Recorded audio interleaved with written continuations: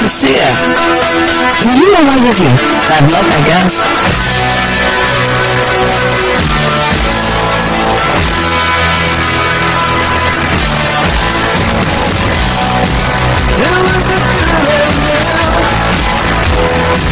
She said she cared about me. She tried to make my world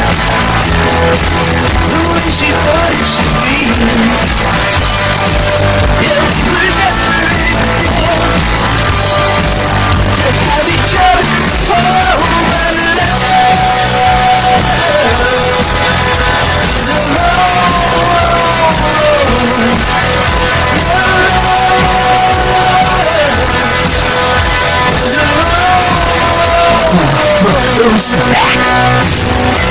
Oh, boy. We can get through this. By sticking together. Being a team.